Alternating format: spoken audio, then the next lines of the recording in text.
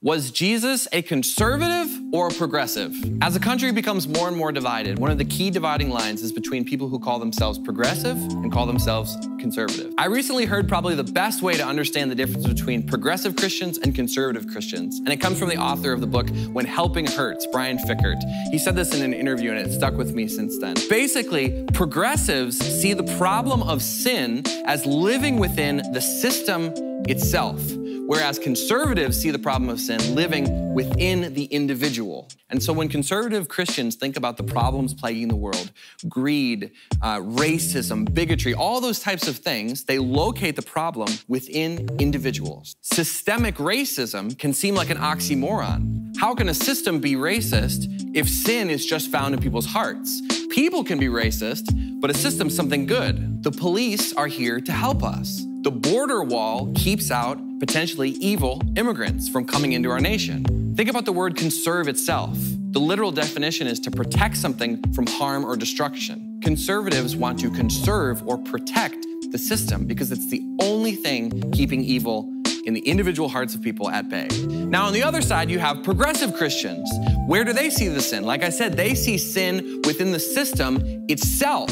The systems themselves are corrupt and oppressive and have taken otherwise good people and subjugated them, pushed them down to the point where even if they commit crimes, it's really the fault of the system that drove them to that lifestyle. So the solution is not to preserve the system, it's to progress beyond it. And this is why you hear a lot of times people using the word dismantle.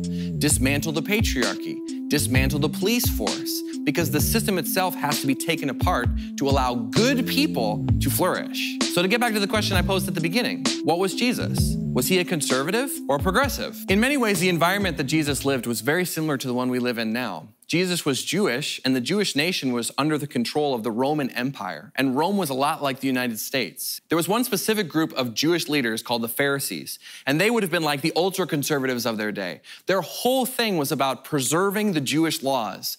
Jews had all these different laws, and Pharisees saw the failures of the society around them was because they hadn't followed God's law that He had given them. And so when Jesus comes on the scene, the Pharisees did not like him because they thought that he was going to come and try to get rid of all their laws. And in several ways, their fears weren't unfounded. Jesus comes and takes all of these laws and turns them on their head, and in many cases makes it so there's no need for the law to exist at all. One of the most important pieces of Jewish law was about the Sabbath, the one day of the week that no one is supposed to work. And the Pharisees' definition of work got broader and broader and broader until people couldn't really do anything. Yet Jesus walks out and he starts healing people who are sick directly on the Sabbath. The Jews also had these rules about which foods were unclean that you shouldn't touch. Yet Jesus says it's not the food that goes into you that defiles you, it's what comes out of your heart that defiles you. Because Jesus saw the ways that the law itself, the system in place, had become corrupt. It was a systemic problem, and Jesus was saying we need to progress beyond this injustice. And so at this point, it might seem like clearly Jesus was a progressive. But this picture of Jesus is only half the story. Because in other places, Jesus didn't get rid of laws, he intensified them. He gave a very famous speech on top of a hill where he said, It's not actually just unlawful for you to have an affair, it's actually unlawful for you to look lustfully at someone. He also says it's not just against the law to murder someone, but to just have hatred towards your, your friend or your brother or sister is on par with actually killing them.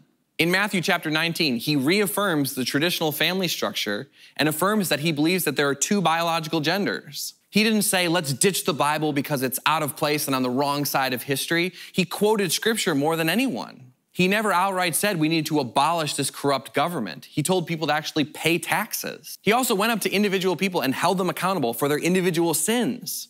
And when you take all these examples together, it starts to look like Jesus was much more of a conservative. How is this possible? How can Jesus simultaneously affirm parts of both sides when the world today says those two sides are irreconcilable? Because this is what Jesus understood.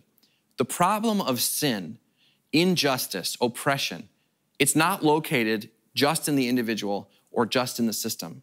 It's in both. Sin affects everything in this world. And so Jesus comes to offer redemption, freedom from this bondage to sin for both individuals and systems. And neither tribe can fully claim Jesus as their own. It's Jesus' own words that he says, My kingdom is not of this world. How did Jesus do this consistently? And how can we also do this as Christians to avoid becoming the hypocritical Christians we don't want to be? That will be our topic for next week. If you have found this video helpful, please consider sharing it on any of your social media accounts. Like and follow us on Facebook, Instagram, and YouTube, and consider joining us for one of our weekly Zoom discussion sessions where we'll be talking through all these issues more in depth because my guess is this has raised a lot of questions and maybe has angered you in some ways that you want to flesh out with other people who are going to do it in a respectful way.